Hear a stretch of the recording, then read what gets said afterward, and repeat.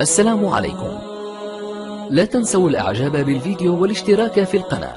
تشجيعا لنا لنستمر بنشر المزيد إن شاء الله. إن أعجبك الفيديو لا تنسى الإعجاب والاشتراك في القناة. السلام عليكم.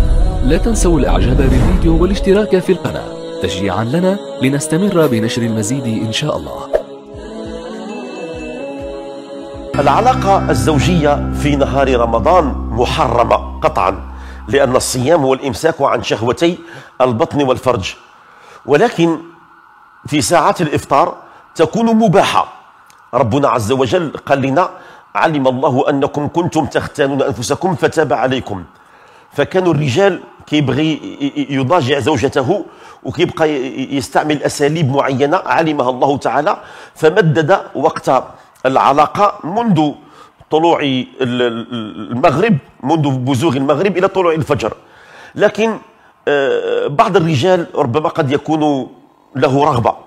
فما إن يفطر حتى يطلب زوجته للعلاقة الزوجية. ولكن الزوجة لها أيضا اضطراريات أخرى. عليها أن تقوم بأشغال البيت تنظيف مائدة الإفطار وربما تريد أن تصلي تراويح العشاء. فما الحل هنا؟ الحل ينبغي أن يقتنع الرجل المسلم بأن لا له وقت ممتد طيلة اليوم فلا يحرم زوجته من الصلاة بل هو عليه أن يؤدي صلاة العشاء في في في المسجد مع الجماعة ويواظب على قيام الليل على صلاة التراويح. في الحديث من صام رمضان إيمانا واحتسابا غفر له ما تقدم من ذنبه ومن قام رمضان إيمانا واحتسابا غفر له ما تقدم من ذنبه. فلا نضيع الصيام والقيام. والعلاقة ممكن أن نستعملها فيما بعد. العلماء ديال الطب يقولوا بأن أحسن وقت يكون وهو بعد منتصف الليل. في العلاقة الزوجية كتكون ديك الساعة الامعاء مرتاحة وكيكون الإنسان أدى وظيفته الدينية واسترخى وله أن يفعل ما يشاء.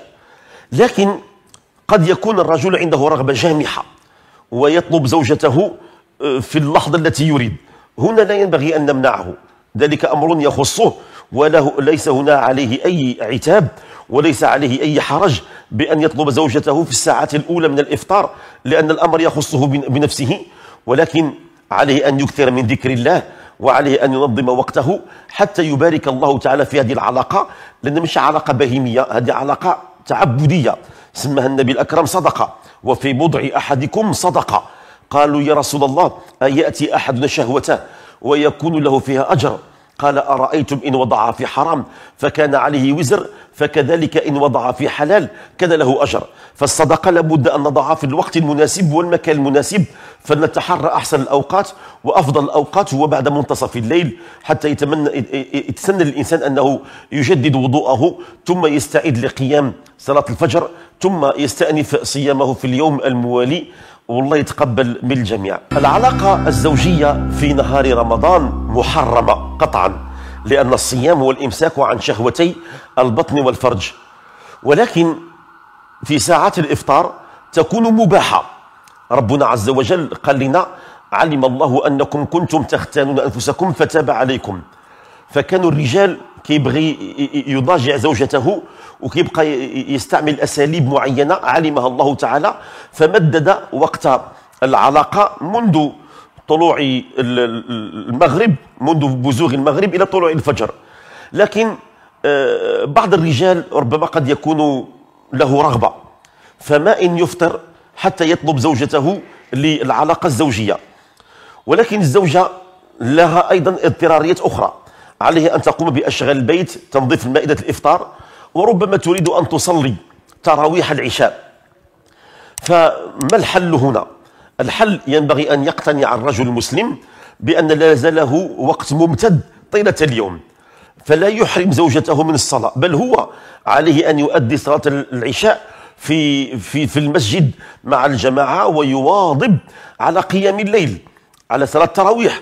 في الحديث من صام رمضان إيمانا واحتسابا غفر له ما تقدم من ذنبه. ومن قام رمضان إيمانا واحتسابا غفر له ما تقدم من ذنبه. فلا نضيع الصيام والقيام. والعلاقة ممكن أن نستعملها فيما بعد. العلماء ديال الطب يقولوا بأن أحسن وقت يكون وهو بعد منتصف الليل. في العلاقة الزوجية كتكون ديك الساعة الامعاء مرتاحة وكيكون الإنسان أدى وظيفته الدينية واسترخى وله أن يفعل ما يشاء.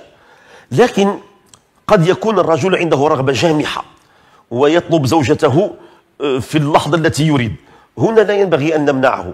ذلك أمر يخصه وله ليس هنا عليه أي عتاب وليس عليه أي حرج بأن يطلب زوجته في الساعات الأولى من الإفطار لأن الأمر يخصه بنفسه. ولكن عليه أن يكثر من ذكر الله وعليه أن ينظم وقته حتى يبارك الله تعالى في هذه العلاقة لأن مش علاقة بهيمية هذه علاقة تعبدية سماها النبي الأكرم صدقة وفي بضع أحدكم صدقة. قالوا يا رسول الله أيأتي أحدنا شهوته ويكون له فيها أجر؟ قال أرأيتم إن وضع في حرام؟ فكان عليه وزر فكذلك إن وضع في حلال كان له أجر. فالصدقة لابد أن نضعها في الوقت المناسب والمكان المناسب فلنتحرى أحسن الأوقات وأفضل الأوقات هو بعد منتصف الليل حتى يتمنى يتسنى الإنسان أنه يجدد وضوءه ثم يستعد لقيام صلاة الفجر ثم يستأنف صيامه في اليوم الموالي. والله يتقبل من الجميع. السلام عليكم. لا تنسوا الإعجاب بالفيديو والاشتراك في القناة. تشجيعا لنا لنستمر بنشر المزيد إن شاء الله.